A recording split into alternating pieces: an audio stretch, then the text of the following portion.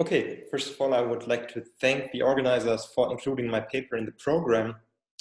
The paper is about child support and alimony payments. And I asked how these payments affect couples' decisions in marriage and divorce. And ultimately, I asked how should child support and alimony be designed to be welfare maximizing? So, the point of departure for the paper is that divorce has become a very common phenomenon. Over one fourth of all marriages are divorced within the first 15 years in the US and also in a range of European countries. And clearly, marital breakdown has severe financial consequences. Um, so, think of lawyer costs, think of um, splitting up financial and non financial assets, but also think about, especially for the lower earner, um, about losing access to the um, ex spouse's labor income. And for all these reasons, most societies have rules and guidelines about payments that need to be made um, that are mandated between ex-spouses after divorce. So these payments are, commonly referred to as maintenance payments, and the typical well-known components are alimony payments and child support payments. Now, in the past decade, there have been several debates about reforming and some actual reforms um, of alimony and child support payments um, in including um, some US states, uh, one of them being Massachusetts, and Germany, France, and the UK. And in all these debates, the arguments that have been brought forward were economic arguments related to an, I think, interesting policy trade off. So, from a social planner's perspective, um, on the one hand, or one argument in favor of high maintenance payments is to provide insurance for the lower earner um, or the ex-spouse taking the children after divorce. So to make sure that this person does not experience a too severe drop in income and um, therefore in consumption upon divorce. So there's one argument in favor of high maintenance payments. The second argument in favor of high maintenance payments is to facilitate efficient household specialization. So um, for some couples, it will be efficient to special, uh, specialize. And um, if you think of the person taking a step back career-wise to um, focus on home production, clearly foregoing career investments for this person is um, is an easier decision to make if he or she knows that in case of divorce, some payments will be received. And then finally, an obvious argument against high maintenance payments is that they distort divorcees' labor supply incentives. So if you compute these payments based on divorcees' labor incomes, then both um, the payer, maintenance payer, and maintenance receiver will have an incentive to reduce labor supply to manipulate the payments in their favor. So my research question, or the research question of my paper, is how should maintenance payments be designed um, given this underlying trade-off? And to address this question, I developed a dynamic economic model of married and divorced couples decision-making, um, where in divorce, an important feature, distinguishing feature of my model is that ex-spouses are linked by maintenance payments. So they continue to be tied together and make uh, and are making decisions non-cooperatively in a strategic um, a strategic interaction, where the strategic interaction comes about because I, if I decide about my labor supply, have an impact on maintenance payments, which impact my ex-spouse's uh, optimal labor supply, which feeds back into maintenance payments. And there you can see how strategic interaction um, comes about. In marriage, in my model, decision making is subject to limited household bargaining, subject to limited commitment, where maintenance payments influence the ex uh, the spouse's outside options, and thereby have an impact on divorce rates, um, the distribution of household bargaining power in the household, and also influence the incentives to engage in household specialization, as I um, previously alluded to. I estimate my model using rich data from Denmark. Um, this both register and survey data, and these data cover a large range of variables that are relevant to my context. For example, I observe the precise amount of maintenance payments between divorcees, uh, divorced ex-spouses. I observe who children continue to reside with after divorce, so which spouse is taking the kids. And I observe uh, standard things like work hours, wages, and also housework hours um, from the time use data, uh, which also features some information on consumption. Um, given the estimated model, um, I simulate counterfactual policy scenarios where I change child support and um, alimony payments. Um, and in the second step, search across the parameter space to find a welfare maximizing uh, child support alimony combination, so a welfare maximizing maintenance policy. And then in the third step, I solve the model under a hypothetical first best scenario where I remove frictions from the model. So intuitively, this is like allowing couples to write a perfect dynamic prenuptial agreement that can condition on all future states. So very much a hypothetical scenario, but nevertheless interesting as a benchmark um, for policy. Okay, before I get to the model, one quick slide on the institutional background. Um, so in Denmark, also in, in the US and many other countries, um, maintenance payments consist of child support and alimony, child support being paid from the non-custodial parent to the parent taking the kids after divorce. And these payments are in most countries computed based on the non-custodial parent's income, so the, the payer's labor income and the number of children. And in my policy analysis, I also experiment, uh, I also simulate uh, situations where these payments also depend on the receiver's um, labor income so on the person who, who takes the kids. Um, and then secondly, alimony payments, these are payments irrespective of the number of children, so even between couples without kids, and are paid from the higher earner to the lower earner for up to 10 years after divorce. And here the formula is quite simple. There's just a fraction of the income difference um, that is paid from the higher to the lower earner. Then importantly, all payments respond to income changes after divorce. So if I am an alimony payer, and I get a raise, then the alimony payments are also increased accordingly. And um, I can use the register data to verify that compliance with these policies is high. So in, in the US, in Germany, in many other countries, it's, it's known that these policies are not perfectly enforced. Denmark is very good at enforcing, the Danish government is very good at enforcing these um, payments. And uh, I can use the data to verify that enforcement is working. Okay, then a very brief overview of my model. Um, the model is a life cycle model um, of two interacting decision makers, female and a male decision maker. Um, the couple is married at the outset of the model and may endogenously divorce in each subsequent time period. Um, in each time period, couples or ex-couples decide how to allocate um, their financial budget or budgets between consumption and um, a risk-free asset, so consumption and savings, and choose how to allocate their time budget between working, um, engaging in home production, and spending time on leisure. And finally, divorce is also an endogenous outcome of the model. Now, the, um, the graph here sketches the timing of a time period for a married couple. So you can see if a couple enters a time period as married, then love shocks hit. So basically, these are idiosyncratic preference shocks that make you want to stay with your spouse or want to uh, want to leave him or her. Um, if these love shocks are negative enough, such that the couple divorces, then there's an equal division of assets, and there's an exogenous probability that the wife takes um, takes the kids. So this probability I calibrate from my data, and in my data, this um, probability is around 90%. So most typically in Denmark, um, the mother takes the kids after divorce. Then upon divorce, spouses interact in a dynamic game, where, as I mentioned earlier, the dynamic um, link, uh, the dynamic inter strategic interaction comes about because they are still tied together by the maintenance payments, and basically, so the decision of my ex-spouse affect my budget set, and this is how, how they are still linked.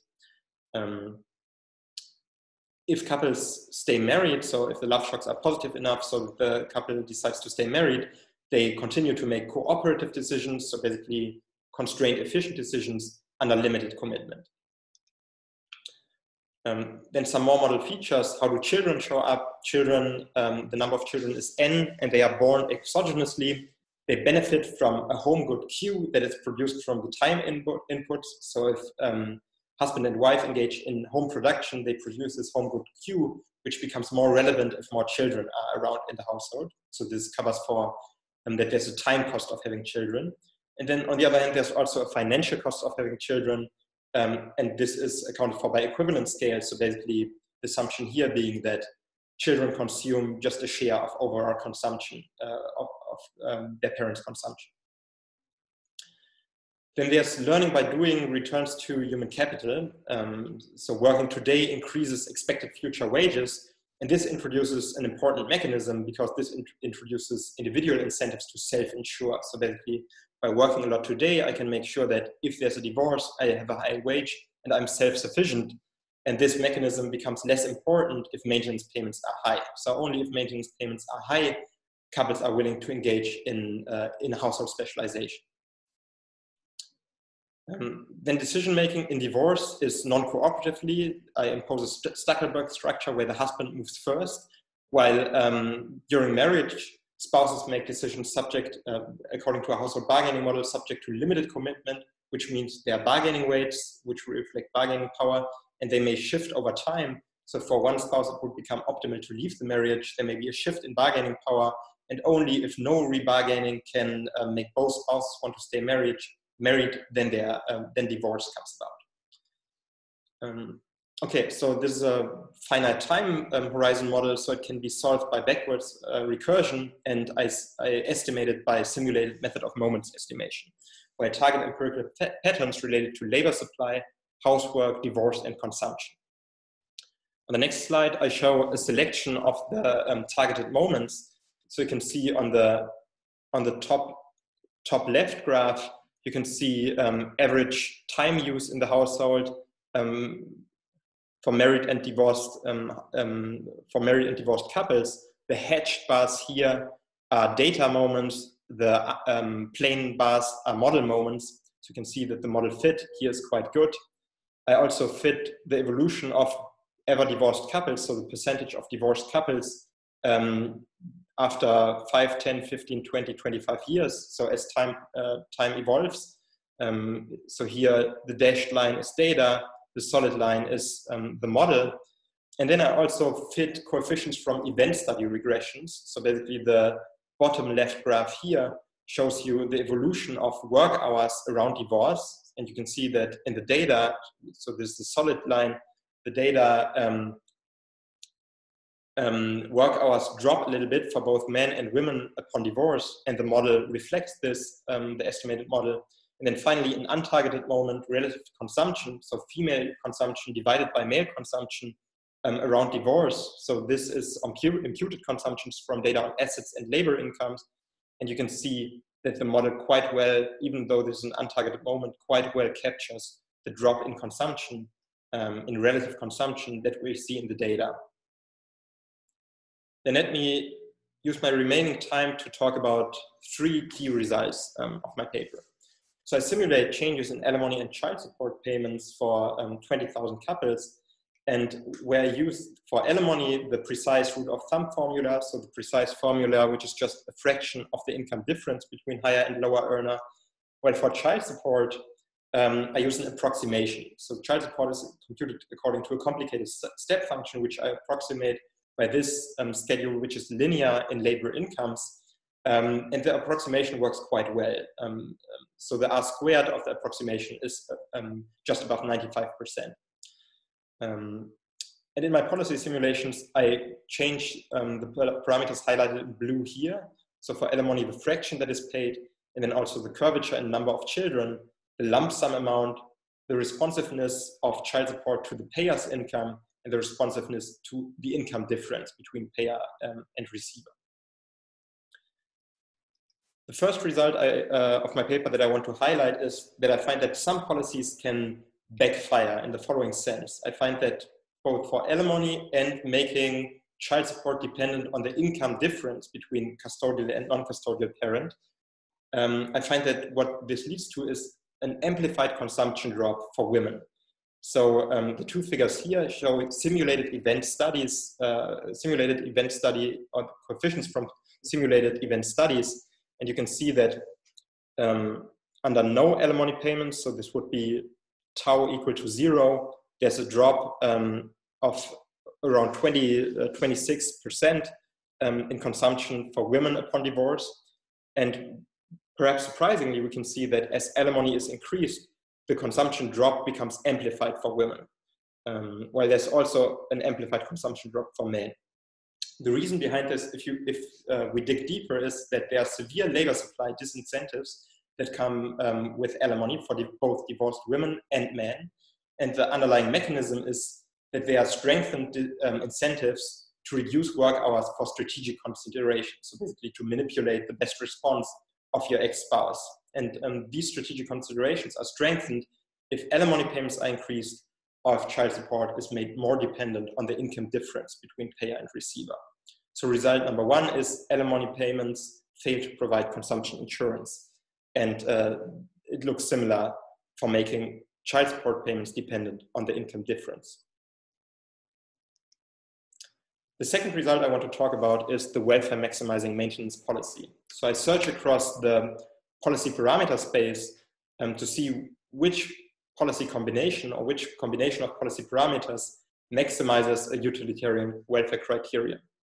And I find relative to the status quo policy, um, switching to the welfare maximizing um, um, policy would involve increasing the lump sum component of child support, increasing the slope of child support in the payer's income, and making child support convex in the number of children rather than concave as it is under the status quo policy.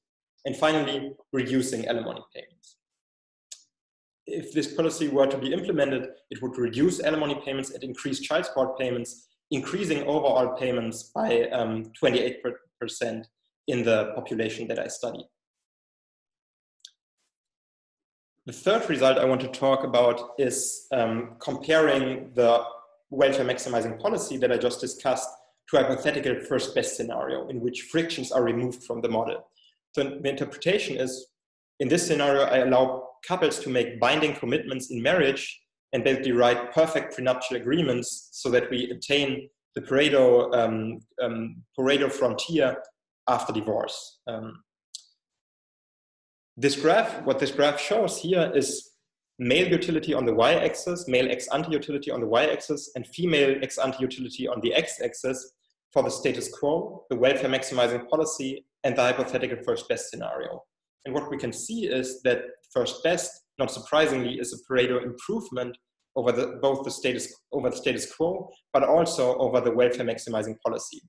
Where the welfare maximizing policy is very much redistributive, so it lowers male utility um, by a bit while strongly increasing female utility.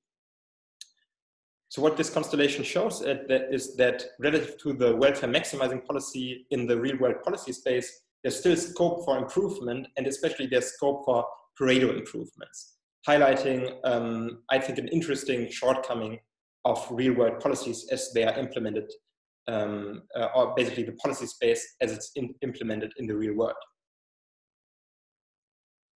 Okay, in conclusion, um, my paper provides the first study of child support and alimony payments and how they should be designed in light of the policy trade-off between consumption insurance, supporting household specialization, while maintaining labor supply incentives. To this end, I develop a dynamic model that incorporates this trade-off and importantly accounts for the strategic interaction that maintenance payments introduce between ex-spouses. Uh, um, this is a novelty um, of my model. Um, the findings based on my estimated model are that First of all, some policies, namely alimony, may backfire in terms of providing consumption insurance. The welfare maximizing policy involves increasing child support and reducing alimony. And finally, comparisons to a hypothetical first best scenario reveal that Pareto gains are feasible over the status quo, but real world policies fail to implement them. Okay, thanks for tuning in.